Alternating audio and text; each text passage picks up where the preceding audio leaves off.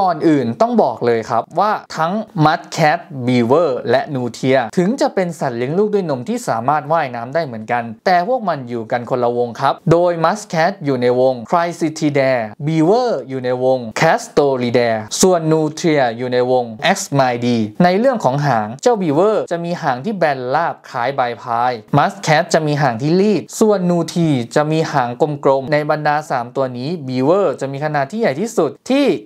91ซนติเมตรขนาดรองลงมาคือนูเทีย60เซนติเมตร และเล็กที่สุดคือเจ้ามัดแคทที่มีขนาด 30เซนติเมตรครับ